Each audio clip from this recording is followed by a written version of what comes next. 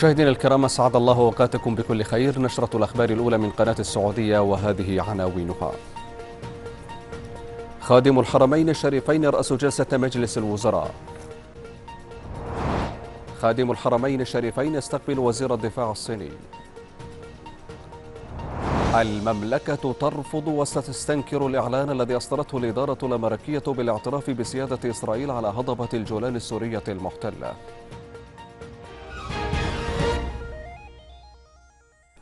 أهلا بكم. بسم الله الرحمن الرحيم. رأس خادم الحرمين الشريفين الملك سلمان بن عبد العزيز آل سعود حفظه الله الجلسه التي عقدها مجلس الوزراء بعد ظهر اليوم الثلاثاء في قصر اليمامة في مدينة الرياض. وفي بداية الجلسة أطلع خادم الحرمين الشريفين المجلس على فحوى الاتصال الهاتفي الذي أجراه بأخيه جلالة الملك محمد السادس ملك المملكة المغربية الشقيقة ونتائج استقباله فخامة الرئيس داني فور رئيس جمهورية سيشل ودولة رئيس وزراء جمهورية قرغستان محمد غالي أبو الغازيف. وأوضح وزير الإعلام الأستاذ تركي بن عبد الله الشبان في بيانه لوكالة الأنباء السعودية عقب الجلسة أن مجلس الوزراء جدد رفض المملكة العربية السعودية التام واستنكار اختيارها للإعلان الذي أصدرته الإدارة الأمريكية بالاعتراف بسيادة إسرائيل على هضبة الجولان السورية المحتلة. وتأكيد المملكة على موقفها الثابت من هضبة الجولان وأنها أرض عربية سورية محتلة وفق القرارات الدولية ذات الصلة وأن محاولات فرض الأمر الواقع لا تغير في الحقائق شيئا وأن إعلان الإدارة الأمريكية هو مخالفة صريحة لميثاق الأمم المتحدة ومبادئ القانون الدولي وللقرارات الدولية ذات الصلة. الصلة وستكون له آثار سلبية كبيرة على مسيرة السلام في الشرق الأوسط وأمن واستقرار المنطقة. كما جدد دعوة المملكة الأطراف كافة إلى احترام مقررات الشرعية الدولية وميثاق الأمم المتحدة وشدد المجلس على استنكار المملكة وإدانتها الشديدة للهجمات المسلحة التي وقعت في الصومال وأفغانستان ومالي. بعد ذلك تطرق مجلس الوزراء إلى بعض النشاطات والفعاليات الاقتصادية والثقافية التي تمت خلال الأسبوع. وعد في هذا الشأن إطلاق خادم الحرمين الشريفين أربعة مشروعات نوعية كبرى في مدينة الرياض بتكلفة إجمالية تبلغ تبلغ 86 مليار ريال نقلة كبيرة في تحسين جودة الحياة وتوفير الفرص للمستثمرين من داخل المملكة وخارجها في إطار تحقيق أهداف رؤية المملكة 2030 مثمنا جهود لجنة المشاريع الكبرى برئاسة صاحب السمو الملكي الأمير محمد بن سلمان بن عبد العزيز آل سعود ولي العهد نائب رئيس مجلس الوزراء وزير الدفاع التي تقوم على هذه المشروعات الأربعة التي ستسهم بمشيئة الله في إيجاد سبعين ألف فرصة عمل جديدة للمواطنين المواطنين في مختلف القطاعات. وبين وزير الإعلام أن المجلس أكد أن رعاية خادم الحرمين الشريفين حفل تسليم جائزة الملك فيصل العالمية في دورتها الحادية والأربعين وتسليم الجوائز للفائزين وافتتاح مؤتمر الأرشيفات العربية تحت رعايته يجسد حرصه على تشجيع العلماء وتتويجهم وحرص المملكة على توطيد علاقتها بالعلم والمعرفة كما أن رعايته كما أن رعايته الحفل الختامي لمهرجان الملك عبد العزيز للإبل الثالث يعد تقديرا للجهود المبذولة للعناية بالإبل وتشجيع ملاكها من خلال تنظيم هذا المهرجان السنوي الذي يعنى بهذا الموروث الأصيل والعميق في تاريخ المملكة. وأصدر مجلس الوزراء القرارات التالية أولا التباحث في شأن مشروع مذكرة تفاهم بين وزارة العدل في المملكة ووزارة العدل في روسيا. ثانيا الموافقة على مذكرة تفاهم للتعاون في المجالات الصحية بين المملكة وتونس. ثالثا الموافقة على مذكرة تفاهم للتعاون في مجال الملكية الفكرية بين المملكة وكوريا. رابعا الموافقة على مذكرة تفاهم بين ديوان المراقبة في المملكة ومكتب المساءلة الحكومية في أمريكا. خامسا الموافقة على الاستراتيجية الوطنية للثقافة. سادسا الموافقة على تنظيم مركز الإسناد والتصفية. سابعا الموافقة على تنظيم صندوق البيئة. ثامنا واحد إنشاء مركز وطني للأرصاد ومركز, ومركز الغطاء النباتي ومركز مكافحة التصحر ومركز تنمية الحياة الفطرية. اثنان إلغاء الهيئة العامة للأرصاد وحماية البيئة في الهيئة السعودية للحياة الفطرية. تاسعا الموافقة على تطبيق قرار مجلس التعاون بشأن الوقاية من العنف الأسري. عاشرا وافق مجلس الوزراء على ترقيات للمرتبتين الخامسة عشرة والرابعة عشرة وذلك على النحو التالي. واحد ترقية سعد بن عبد الله بن فهد العنقري إلى وظيفة وكيل الإمارة للشؤون الأمنية بالمرتبة الخامسة عشرة بإمارة منطقة حائل. اثنان ترقية عبد العزيز بن محمد بن إبراهيم الحمدان إلى وظيفة مدير عام فرع الوزارة في منطقة مكة المكرمة بالمرتبة الرابعة عشرة بوزارة الشؤون الإسلامية والدعوة والإرشاد. ثلاثة ترقية محمد بن رزيق بن سليمان الحربي إلى وظيفة مدير عام الإدارة القانونية بالمرتبة الرابعة عشرة بوزارة الصحة. أربعة ترقية عبد العزيز بن عبد الرحمن بن عبد العزيز الربيعة إلى وظيفة مدير عام الشؤون الصحية في منطقة الرياض بالمرتبة الرابعة عشرة في وزارة الصحة. خمسة ترقية عبد الله بن ناصر بن عبد الله بن علي مقبل إلى وظيفة مدير عام الشؤون الصحية في منطقة عسير بالمرتبة الرابعة عشرة في وزارة الصحة. ستة ترقية عبد العزيز بن عبد الله بن محمد الضويحي إلى وظيفة مدير عام التطوير الإداري بالمرتبة الرابعة عشرة بوزارة الشؤون البلدية والقروية. سبعة ترقية المهندس عبد الله بن مصلح بن سالم القحطاني إلى وظيفة مهندس مستشار زراعي بالمرتبة الرابعة عشرة في أمانة منطقة عسير. واطلع مجلس الوزراء على عدد من الموضوعات العامة المدرجة على جدول أعماله وأصدر حيالها ما رآه استقبل خادم الحرمين الشريفين الملك سلمان بن عبد العزيز آل سعود في مكتبه بقصر اليمامة في الرياض اليوم مستشار الدولة وزير الدفاع في جمهورية الصين الشعبية الفريق أول وي بونغ وجرى خلال الاستقبال استعراض سبل تعزيز وتطوير مجالات التعاون بين المملكة والصين وبخاصة في المجال العسكري. حضر الاستقبال صاحب السمو الملكي الأمير عبد العزيز بن سعود بن نايف بن عبد العزيز وزير الداخلية ووزير الدولة عضو مجلس الوزراء دكتور مساعد العيبان ووزير الخارجية إبراهيم العساف. كما حضره القائم بالأعمال في السفارة الصينية لدى المملكة شي هونغوي ونائب قائد منطقة القتال الوسطى قائد القوات الجوية هان شينغيان ونائب قائد القوات البرية الصينية ليو فا تشينغ ونائب رئيس مكتب التعاون العسكري الدولي للجنة العسكرية المركزية سونغ يان تشاو.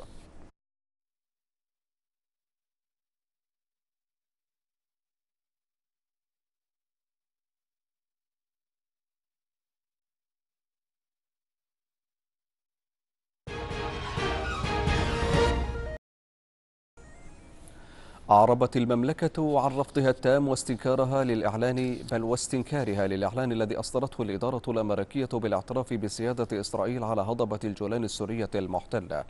وأكدت المملكة على موقفها الثابت والمبدئي من هضبة الجولان وأنها أرض عربية سورية محتلة وفق القرارات الدولية ذات الصلة وأن محاولات فرض الأمر الواقع لا تغير في الحقائق شيئا وأن إعلان الإدارة الأمريكية هو مخالفة صريحة لميثاق الأمم المتحدة ومبادئ القانون الدولي وللقرارات الدولية ذات الصلة. بما في ذلك قرارات مجلس الأمن ذات الرقم 242 لعام 1967 ورقم 497 لعام 1981 وستكون له آثار سلبية كبيرة على مسيرة السلام في الشرق الأوسط وأمن واستقرار المنطقة.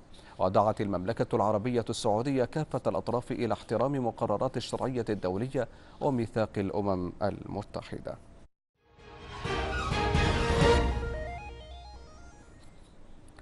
في أخبار المناطق بحث صاحب السمو الملكي الأمير محمد بن ناصر بن عبد العزيز أمير منطقة جازان خلال لقائه وزير الخدمة المدنية سليمان الحمدان والوفد المرافق. له بحث الموضوعات التي تهم عمل الوزارة والخدمات التي تقدمها لمنسوب الإدارات الحكومية وسبل التعاون بين إمارة المنطقة ووزارة الخدمة المدنية وغيرها من الجهات الحكومية في عدة مجالات لتقديم أفضل الخدمات للمواطن. منوها سموه بدور الوزارة في رفع مستويات الأداء الوظيفي وتحقيق الكفاءة الشاملة وتطوير العملية الإدارية.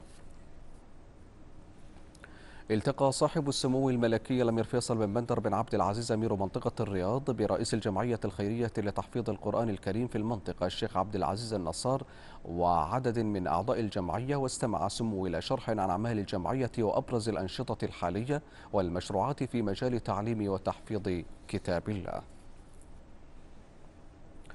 افتتح صاحب السمو الملكي الأمير سعود بن نايف بن عبد العزيز أمير المنطقة الشرقية فعاليات ملتقى التدريب التقني والمهني تحت شعار تقني مهني أبني وطني بحضور محافظ المؤسسة العامة للتدريب التقني والمهني الدكتور أحمد الفيد والذي تنظمه الإدارة العامة للتدريب التقني والمهني في المنطقة في مقر الإدارة بالدمام. واطلع سموه على المشاريع المستقبلية للمؤسسة العامة للتدريب التقني والمهني كما استمع لشرح مفصل عن المشاريع والبرامج التدريبية من قبل المتدربين والمتدربات. عقب ذلك كرم أمير المنطقة الشرقية الرعاة والشركاء ثم تسلم سموه هديتين تذكاريتين بهذه المناسبة. التقى صاحب السمو الملكي الأمير مشعل بن ماجد بن عبد العزيز محافظ جدة اليوم الدكتور عبد الله بصفر بمناسبة انتهاء فترة عمله أمينا عاما للهيئة العالمية للكتاب والسنة. وقدم سمو شكره للدكتور بصفر نظير الجهود الموفقة أو الاعمال التي قدمها خلال فترة عمله أمينا عاما للهيئة العالمية للكتاب والسنة.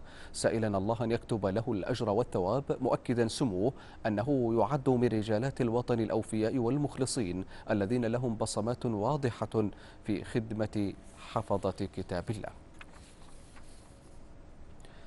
التقى صاحب السمو الملكي الأمير الدكتور فيصل بن مشعل بن سعود بن عبد العزيز أمير منطقة القصيم أمس رئيس وأعضاء مجلس إدارة جمعية رعاية وتجهيز الموتى ببريده تجهيز بمناسبة صدور موافقة وزارة العمل والتنمية الاجتماعية بالترخيص للجمعية لمزاولة عملها. ونوه أمير المنطقة بدور جمعيات البر في تقديم خدمات نوعية لمستفيديها والتوسع في أعمالها مشيرا إلى أن الجهات الخيرية في المنطقة تحظى بالتنوع الشامل. من جهة ثانية دشن سمو أمير منطقة القصيم أمس فعاليات أسبوع البيئة الأول في المنطقة الذي يقام بالتزامن مع حملة أرض القصيم خضراء للمرحلة الرابعة وذلك بمنتزه القصيم الوطني. كما دشن الأمير فيصل بن مشعل المتحف الحبارة على مستوى المنطقة بالتعاون مع الصندوق الدولي للحفاظ على الحبارة عبر إطلاق عدد من الطيور فيما افتتح المعرض فيما افتتح المعرض المصاحب لأسبوع البيئة بمشاركة الجهات الحكومية. عقب ذلك بدأ الحفل المعد بهذه المناسبة حيث توالت الكلمات التي أكدت على رفع الثقافة البيئية وطرق الحماية والتوعية والإرشاد البيئي في جميع محافظات المنطقة. بعدها نوه سمو الأمير فيصل بن مشعر بالتأصيل الإسلامي في الحفاظ على البيئة داعيا سموه لإنشاء رابطة للحفاظ على البيئة تنبثق من لجنة أصدقاء البيئة لافتا الانتباه إلى أهمية إرساء القوانين الكفيلة بحماية البيئة والحد من المشاكل البيئية. ونبقى في منطقة القصيم حيث أكد الأمير الدكتور فيصل بن مشعل بن سعود بن عبد العزيز أن معرض كل أيامنا وطنية يدل على عمق الولاء والمحبة لهذا الوطن وقيادته. جاء ذلك خلال زيارة سمو أمير منطقة القصيم للمعرض المقام في الحتيم مول في مدينة بريدة. ونوه الأمير فيصل بن مشعل أن منطقة القصيم تميزت في إبراز تطور الجهات الحكومية الذي تسعى القيادة إلى تطويره ومواكبة العصر من تقنية وتقدم وتأهيل شبابها ليكونوا خبراء في هذا المجال. واطلع السمو على الخدمات التي تقدمها عدد من الجهات الحكومية والخاصة للمواطنين مستمعا لشرح عن ما يتضمنه المعرض. عندما نرى مثل هذا المعرض ونرى المشاركة فأنا سبق أن ذكرتها حتى في معرض الكتاب السابق وقلت ما يميز هذه المنطقة؟ منطقة القصيم هي أنها تعرض لمنجزات القطاعات الحكومية ليس فقط للقطاعات التجارية أو لمثلا الشبابية أو للقطاع الخاص أو تعليم أو غيره وإنما آه، لتطور القطاعات الحكومية. ونبقى في منطقة القصيم حيث أكد الأمير فيصل بن مشعل أن ما جرى في المؤتمر العلمي الأول لجمعية أصدقاء بنوك الدم في المنطقة المقام مؤخرا يعد فخر واعتزاز كما انعكست من خلاله العديد من التوصيات العلمية الفعالة لتطوير إدارة التبرع بالدم. جاء ذلك خلال تكريم سموه المشاركين في تنظيم المؤتمر العلمي الأول لجمعية أصدقاء بنوك الدم والبالغ عددهم 55 مشاركا تحت شعار إدارة أفضل للتبرع بالدم. وقد وقدم عرض مرئي عن المؤتمر استعرضت من خلاله بل استعرضت من خلاله عدد من المشاركات بالإضافة إلى ورشتي عمل جرى تقديمهما لتعزيز إدارة أفضل إدارة أفضل لطرق التبرع بالدم. بعد ذلك تسلم سموه التقرير الختامي للمؤتمر. もたま كما أكد سمو أمير منطقة القصيم على أهمية دور أعضاء الجمعيات الزراعية وأن عضوية أي كيان معين هو العمل مطالبا بجهة لحوكمة الجمعيات وتقييم, أدائها مشيرا إلى ضرورة التوعية بالإرشاد وخطر سوسة النخل. جاء ذلك خلال افتتاح الأمير فيصل بن مشعل حفل اللقاء الإرشادي التاسع لتعزيز القدرات وتبادل الخبرات الزراعية المنعقد في المركز الثقافي في مدينة بريدة. ونوه سمو أمير المنطقة بما شاهده من نتائج مشرفة للزراعة يفتخر بل يفتخر بها الجميع مشيدا بجهود الوزارة التي أدت دورها على أكمل وجه. واستعرضت خلال الحفل التوجهات المستقبلية لوزارة البيئة والمياه والزراعة وتجول سمو أمير المنطقة على المعرض المصاحب للملتقى.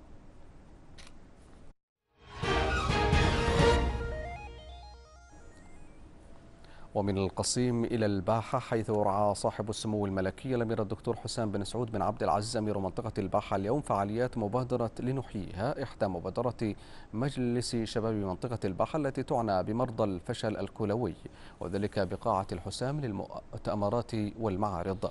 وقام الأمير حسام بن سعود بقص الشريط للمعرض المصاحب إيذانا بافتتاحه ثم تجول به واستمع إلى شرح عن أركانه بما بعد ذلك. بدأ الحفل المعد بهذه المناسبة الذي يهدف لتوعية وتثقيف أفراد المجتمع على أحد أهم الأمراض المتفشية في هذا العصر وهو الفشل الكلوي.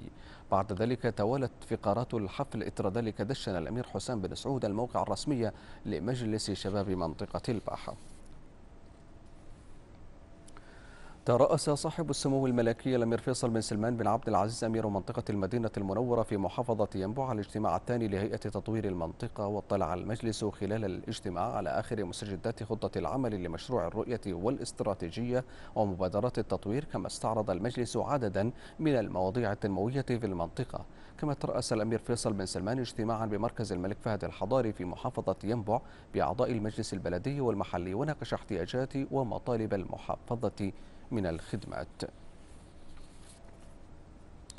اطلع صاحب السمو الملكي الامير فيصل بن خالد بن سلطان بن عبد العزيز أمير منطقة الحدود الشمالية خلال لقائه محافظ الهيئة العامة للجمارك أحمد الحقباني وعدد من مسؤولي الهيئة. اطلع على أبرز مشروعات تطوير وتأهيل منافذ المنطقة وشدد السمو على أهمية التطوير والتأهيل لجميع المنافذ بشكل دوري وتحسين مستوى حركة العبور للمسافرين والشاحنات. أكد الامير فيصل بن خالد على أهمية الدور المناط بالجمارك لحماية حدود الوطن والخدمات والتسهيلات التي التي تقدمها عبر مختلف المنافذ الحدودية والجوية والبحرية.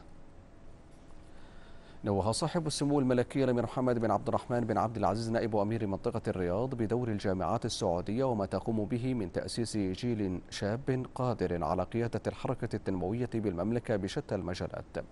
جاء ذلك في كلمة لسموه خلال رعايته اليوم حفل تخريج الدفعة الحادية عشرة من طلاب جامعة اليمامة الذي يقيم بمقر الجامعة في الرياض. ولفت سموه النظر إلى أن رؤية المملكة 2030 أحد أهدافها الوطن الطموح القادر على تأهيل كوادر وطنية وإمكانيات عالية المستوى في عدة تخصصات التي تمكنها من صناعة النجاح في المجالات كافة وفي ختام الحفل تم تكريم الشركاء وأعضاء هيئة التدريس والخريجين. من جهة ثانية شرف الأمير محمد بن عبد الرحمن بن عبد العزيز أمس حفل سفارة جمهورية اليونان بمناسبة ذكرى اليوم الوطني لبلادها وذلك بمنزل السفير في الرياض. وكان في استقبال سموه في مقر الحفل سفير جمهورية اليونان لدى المملكة إيوانيس تاغس وعدد من المسؤولين في السفارة. أكد صاحب السمو الملكي الأمير تركي بن هدلول بن عبد العزيز أمير منطقة نجران بالإنابة حرص القيادة في العمل على تطوير الجهات الحكومية عبر المشروعات التقنية المتطورة. جاء ذلك خلال ترأسه اليوم الاجتماع بين أمارة المنطقة وشركة الاتصالات السعودية لتطوير وتعزيز التقنيات الحديثة بالأمارة والمراكز التابعة لها بما يخدم المواطنين والمواطنات وثمن سموه توجيهات ومتابعة صاحب السمو الأمير جلوي بن عبد العزيز أمير منطقة نجران الرامية لرفع مستوى الأداء العملي والإداري بإمارة المنطقة ومحافظاتها ومراكزها. زار صاحب السمو الملكي الأمير فيصل بن فهد بن مقرن نائب أمير منطقة حائل فرع مؤسسة سليمان الراجح الخيرية واطلع السمو على الخدمات التي تقدمها المؤسسة بمختلف المجالات وفق استراتيجياتها. إثر ذلك أطلق الأمير فيصل بن فهد أعمال لجنة المنح الخيري في مؤسسة سليمان الراجح الخيرية لعام 2019 وشهد سموه أعمال الجلسة الأولى للجنة بعدها تجول نائب أمير المنطقة داخل جامع الراجح واستمع لنبذة عن الجامع منذ إنشائه ثم تفقد نائب أمير المنطقة مرافق الجامع وخدماته. نشرتنا مستمرة وفيها بعد الفاصل. وسط مشاركات عالمية انطلاق فعاليات طلعة الربيعية ضمن موسم الشرقية 2019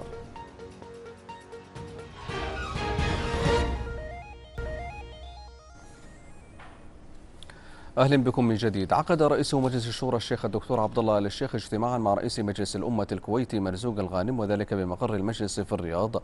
وأشاد الدكتور ال الشيخ خلال اللقاء بعمق العلاقات والروابط الأخوية التي تجمع بين قيادتي وشعبي البلدين الشقيقين موضحا أهمية تبادل الزيارات الثنائية بما يخدم المصالح المشتركة وتعزيز التعاون البرلماني المشترك.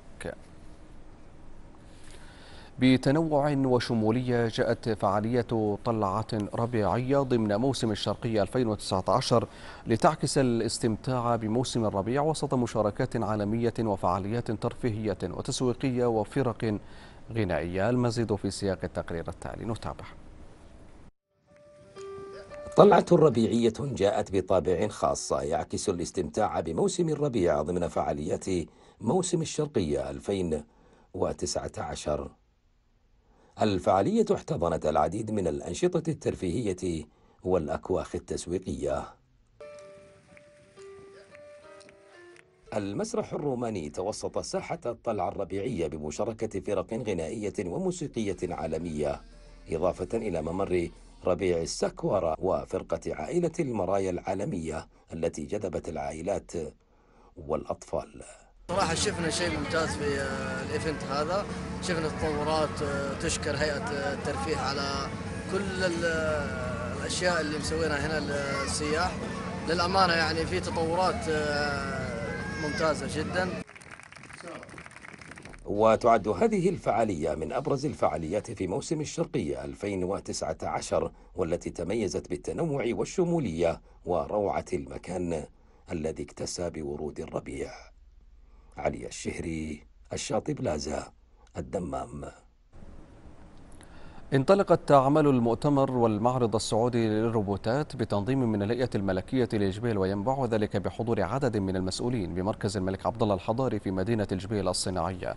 ويناقش المؤتمر المستمر لمدة ثلاثة أيام عددا من المواضيع المهمة لتطوير قطاع الروبوتكس مثل التصنيع الذكي وتطبيقات الأتمتة. كما أقيم على هامش فعاليات اليوم الأول ورشة عمل عن مجال ريادة الأعمال في مجال ال robotics كما استضاف المعرض المصاحب أبرز الجهات البحثية والأكاديمية والصناعية الفاعلة في مجال ال robotics في المملكة. أطلقت شركة المياه الوطنية ممثلة بالإدارة العامة لخدمات المياه في منطقة جازان المرحلة الأولى من خدماتها الإلكترونية عبر فرعها الإلكتروني لخدمات العملاء في منطقة جازان والتي تعد نقلة نوعية في التحول الخدمي لقطاع المياه والخدمات البيئية في المنطقة.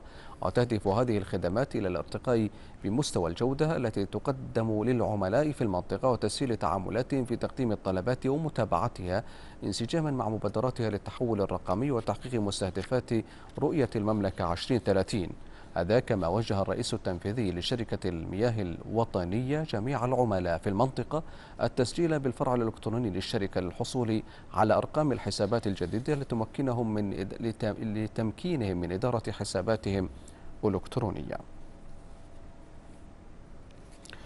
وللحديث أكثر مشاهدينا الكرام عن هذه النقلة النوعية ينضم معنا من الرياض عبر الهاتف مدير عام التحول الرقمي وتقنية المعلومات الأستاذ يوسف الصحباني أهلا وسهلا بك أستاذ يوسف.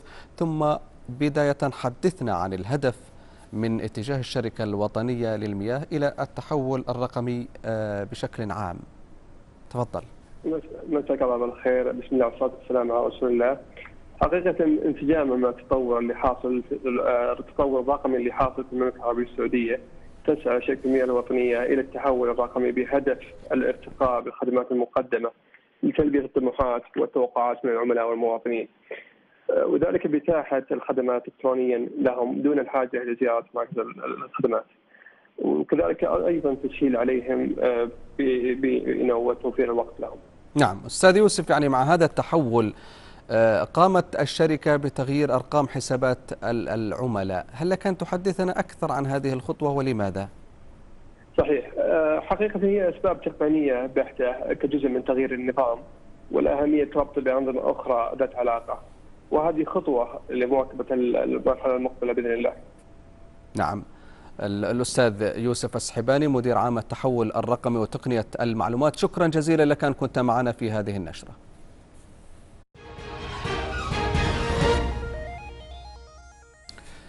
في إطار المساعدات الإغاثية والأعمال الإنسانية التي يقدمها مركز الملك سلمان للإغاثة للشعب اليمني في مختلف المحافظات حيث دشن المركز الدورة الثانية من المرحلتين التاسعة والعاشرة من مشروع إعادة تأهيل الأطفال المجندين والمتأثرين في محافظة مأرب.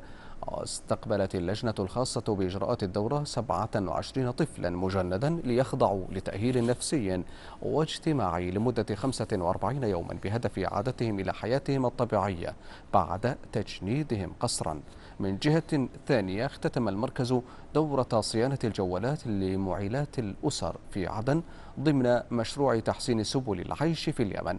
هذا فيما وصل المركز البرامج المهنية لتمكين الشباب بمديرية تريم في محافظة حضرموت للأسبوع الثالث حيث تستهدف 45 شابا من مختلف مناطق المديرية. وعلى الصعيد الميداني اليمني حررت قوات الشرعية بإسناد من طيران التحالف العربي مناطق جديدة في مديرية كتاف في محافظة صعدة بعد معارك عنيفة مع ميليشيا الحوثي الانقلابية. وأشارت مصادر عسكرية إلى أن العمليات أسفرت عن سقوط عشرات القتلى والجرحى في صفوف الانقلابيين لافتا إلى أن قوات الشرعية استعادت الكثير من الأسلحة التي نهبتها ميليشيا الحوثي من مخازن الدولة. يأتي ذلك في الوقت الذي سيطرت فيه قوات الجيش على الخط العام الرابط بين مديرية دمت ومديريتي النادرة والسدة في محافظة إب وسط البلاد. يعقد مجلس الأمن اليوم جلسة يناقش خلالها تطورات القضية الفلسطينية عقب المستجدات الأخيرة في قطاع غزة. يأتي ذلك فيما تواصل طائرات الاحتلال الإسرائيلي قصفها لمواقع وأهداف مدنية في قطاع غزة. وأفادت مصادر فلسطينية بأن أكثر من 30 غارة جوية شنتها طائرات الاحتلال على مواقع وأهداف في مختلف المناطق بالقطاع ملحقة دمارا كبيرا في ممتلكات المواطنين الفلسطينيين. كما قصفت مدفعية الاحتلال الإسرائيلي بعدد من القذائف مواقع وأهداف قريبة من الشريط الحدودي في شرق القطاع. فترتنا الإخبارية انتهت مشاهدينا الكرام بقي تذكير بأبرز عناوينها. خادم الحرمين الشريفين يرأس جلسة مجلس الوزراء. خادم الحرمين الشريفين يستقبل وزير الدفاع الصيني. المملكة ترفض وتستنكر الإعلان الذي أصدرته الإدارة الأمريكية بالأعتراف بسيادة إسرائيل على هضبة الجولان السورية المحتلة. مشاهدينا الكرام شكرا على طيب المتابعة. في أمان الله.